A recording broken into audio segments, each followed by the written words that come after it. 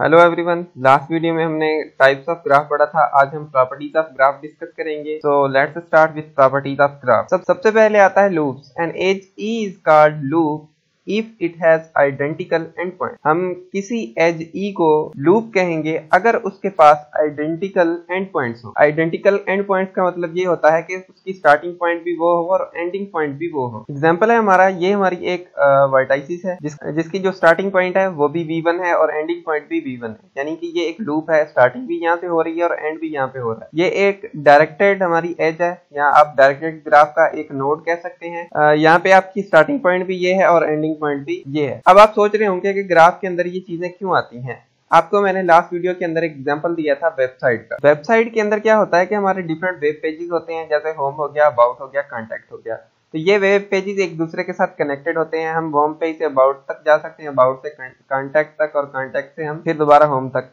और दूसरा ये होता है कि अगर हम अबाउट पे खड़े हैं, ठीक है, और दोबारा अबाउट को क्लिक करते हैं तो फिर हम अबाउट का पेज दोबारा हमारा रिफ्रेश होकर खुल जाता है। तो इसका मतलब होता है कि अबाउट के अंदर अबाउट की लिंक है। यानी कि अबाउट के अंदर एक सेल्फ लूप लगा हुआ है, ठीक है? तो हम इसको ऐसे डिफाइन कर सकते हैं कि अबाउट के अंदर हमारा सेल्फ लूप होता है। ऐसा ही होम के अंदर भी हमारा सेल्फ लूप होता है। ऐसे ही होम के अंदर भी हमारा सेल्फ लूप होता है और कॉन्टेक्ट के अंदर भी हमारा सेल्फ लूप होता है। ऑलमोस्ट तकरीबन जितने भी वेब पेजेस होते हैं, उनके अंदर हमारा सेल्फ लूप होता है कि हम उसी पेज पे हो और उसी पेज को क्लिक करें, दोबारा हम उसी पेज पे चले जाते हैं, ठीक है? तो ये हमारा लूप हो गया ग्राफ के अंदर। उसके बाद आता है हमारा मल्टी एजिस मल्टी एजिस का मतलब होता है कि एक नोड के साथ दो एजिस कनेक्टेड हो। यानी कि ऐसा समझे कि दो हमारे वर्टाइसिस हैं V1 एंड V2 उन दोनों के दरमियान हमारी दो एजिस कनेक्टेड हों या दो से ज़्यादा एजिस कनेक्टेड हो। तो इसको हम कैसे डिफाइन कर सकते हैं कि different edges E and E dash are called multi edges if they connected the same point अगर वो सेम पॉइंट से कनेक्टेड हैं तो हम उनको क्या कहेंगे? मल्टी एजिस कहेंगे। ये हमारी मल्टी एजिस हैं। इससे ज़्यादा भी हो सकती हैं सपोज़ करें। ये हमारे दो वर्टाइसिस हैं, ठीक है? मतलब यहाँ पे मल्टी एजिस हमारी हो सकती हैं। कैसे हो सकती हैं? इसका मैं आपको एग्ज़ाम्पल देता हूँ। लेकिन आपने याद यही रखना है कि मल्टी एजिस ये होती हैं कि दो वर्टाइसिस के अंदर एक से ज़्यादा एजिस कनेक्टेड हो तो उनको हम मल्टी एजिस कहते हैं। अब आप सपोज़ करें कि हमने कराची से सखर जाना है, ठीक है?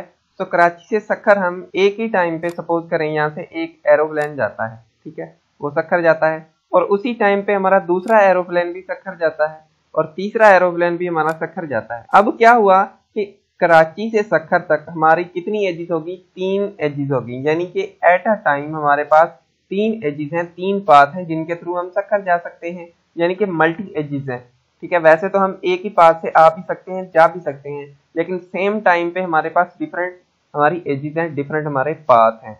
उसके बाद आता है हमारा सिंपल ग्राफ सिंपल ग्राफ क्या है? Such graph which have no any loop and multi edges ऐसा ग्राफ जिस को ना कोई लूप हो और ना उसके पास कोई मल्टी एजिस हो तो ऐसे ग्राफ को हम सिंपल ग्राफ कहेंगे। अगर ऐसा ग्राफ जिसके अंदर कोई एक लूप आ जाता है या मल्टी एजिस आ जाती हैं तो उस ग्राफ को हम सिंपल ग्राफ नहीं कहेंगे। जैसे ये हमारा एक सिंपल ग्राफ है, इसमें ना ही कोई मल्टी एजिस है, ना ही कोई लूप है। अगर इसके अंदर कोई लूप आ जाता है तो हम इसको सिंपल ग्राफ नहीं कहेंगे। सपोज़ करें कि यहाँ पे एक हमारा लूप है ठीक है? अब हमारा ये सिंपल ग्राफ नहीं रहा। लेकिन अगर ये लूप नहीं है तो ये हमारा ग्राफ जो है वो सिंपल ग्राफ है। अगर इसके अंदर मल्टी एजिस भी नहीं आती सपोज़ करेंगे हमारी मल्टी एजिस हैं तो फिर भी हमारा ये सिंपल ग्राफ नहीं रहेगा। अगर मल्टी एजिस नहीं है तो हमारा ये ग्राफ सिंपल होगा। अब हमारा ये ग्राफ सिंपल ग्राफ उस, उसके बाद आता है हमारा डिग्री ऑफ़ वर्टेक्स इसका मतलब होता है the degree of a graph vertex B of a graph G is the number of graph edges which touch with V suppose करें एक वी हमारा क्या है? एक वी हमारी वर्टेक्स है ठीक है?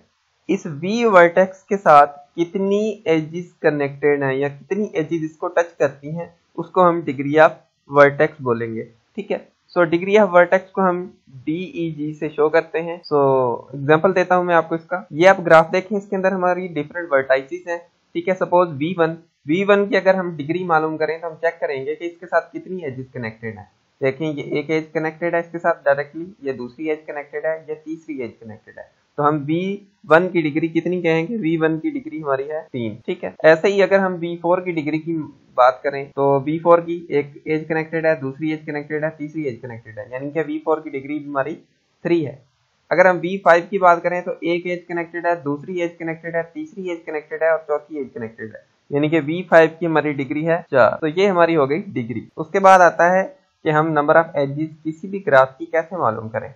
सो so, सपोज़ करें ये एक ग्राफ है जिसके अंदर हमारी वर्टाइसेस है। ठीक है? हम इसको भी ग्राफ बोलेंगे भले ही इनके साथ कोई एज कनेक्टेड ना हो। ऐसा ग्राफ जिसके अंदर कोई भी एज ना हो उसको हम नल ग्राफ बोलते हैं। ठीक है? इसके अंदर कोई भी एज नहीं है तो हम इसको नल ग्राफ बोलेंगे। तो so, हम कैसे मालूम करें कि इसके अंदर मैक्सिमम एजेस कितनी बन सकती हैं?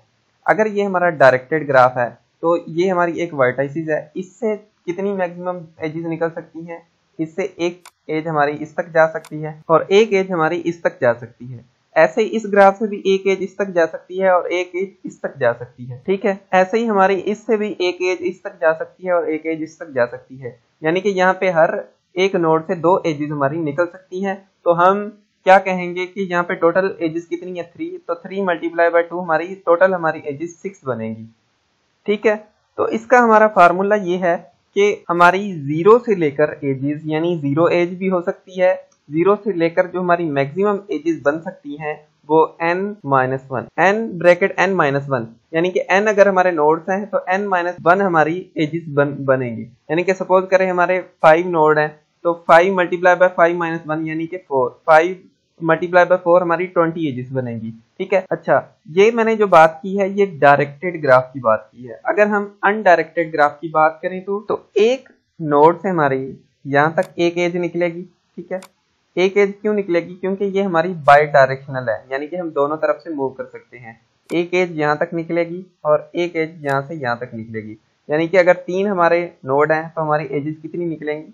थ्री एजेस निकलेंगे ठीक है? सो so, इसका हमारा जो फार्मूला बनेगा वो ज़ीरो से लेकर यानी ज़ीरो से हमारी ज़ीरो एजेस भी बन सकती हैं वन टू थ्री उससे लेकर N bracket N minus one divided by two ये हमारा फार्मूला है अगर हम बात कर रहे हैं अनडायरेक्टेड ग्राफ अच्छा एक चीज़ मेरी याद रखिएगा कि ये जो दोनों हम फार्मूले अप्लाई करते हैं ये हम तभी अप्लाई कर सकते हैं जब एक ग्राफ के साथ कोई भी लूप ना हो और कोई भी मल्टी एज ना हो। तभी हम ये फार्मूला अप्लाई कर सकते हैं। It is only possible if there is no any loop and multi edge जब हमारे पास कोई भी लूप ना हो और मल्टी एज ना हो तो फिर हम ये दोनों फार्मूले अप्लाई करके एजेस फाइंड कर सकते हैं। अदरवाइज़ मल्टी एजेस कितनी भी हो सकती हैं और लूप हमारे कितने भी हो सकते हैं, फिर हम इनका अंदाज़ा नहीं लगा सकते कि कितनी एजेस निकल सकती हैं। उसके बाद आता है हमारा path a sequence of vertices where each adjacent pair is connected by an edge हमारी सीक्वेंस ऑफ़ वर्टाइसिस हो, जिसके अंदर हमारी हर दूसरी वर्टाइसिस दूसरे के साथ एडजेसेंट एज के साथ कनेक्टेड हो। यानी कि अगर हम सपोज़ करें, ये V1 है और ये V4 है, ठीक है? यहाँ V1 से लेकर V3 तक अगर हम पाथ की बात करें तो V1 से V2 और V3 हमारा, हम, हमारा जो पाथ बनेगा वो क्या बनेगा? V1 ठीक है? ये हमारा क्या है? ये पाथ है एक V1 से लेकर V3 तक। दूसरा हमारा पाथ बन सकता है V1 से लेकर V5 एंड V3 ठीक है? ये हमारे पाथ है। यानी कि आप अगर एक सोर्स है, दूसरा आपकी डेस्टिनेशन है, उस डेस्टिनेशन तक पहुँचने के लिए आपको जो जो नोड्स ट्रेवल्स करने पड़ेंगे, वो हमारा पाथ कहलाता है। उसके बाद आता है हमारा simple path a path is called simple if there is no vertex that is repeated ऐसा पाथ जिसके अंदर कोई भी वर्टेक्स हमारी रिपीटेड ना की गई हो, उसको हम सिंपल पाथ बोलते हैं। ये जो मैंने दो पाथ बताए हैं आपको ये सिंपल पाथ है। हमारा एक पाथ बन सकता है कि हम अगर V1 से V4 तक जाना चाहते हैं तो V1 से हम V5 तक जाएँ V5 से हम V2 तक जाएँ V2 से हम V3 तक जाएँ V3 से हम दोबारा V5 तक जाएँ और V5 से हम फिर V4 तक जाएँ। तो यहाँ पे देखिए हमारा जो V5 है वो दो दफ़ा रिपीट हो रहा है। तो इस पाथ को हम सिंपल पाथ नहीं कहेंगे। ये एक सिंपल पाथ नहीं है। वैसे हम इसको पाथ बोल सकते हैं लेकिन सिंपल पाथ नहीं बोल सकते। सो so, ये बेसिक प्रॉपर्टीज़ थी ग्राफ की ठीक है? सो so, इनमें अगर आपको कहीं पे भी कोई कंफ्यूजन हो तो आप मैसेज कर सकते हैं कमेंट कर सकते हैं। और अगर आपको ये वीडियो अच्छा लगा तो मेरे चैनल को ज़रूर सब्सक्राइब करें ताकि आपको आइंदा आने वाली वीडियोज़ की अपडेट मिलती रहे। तो thank you for watching this video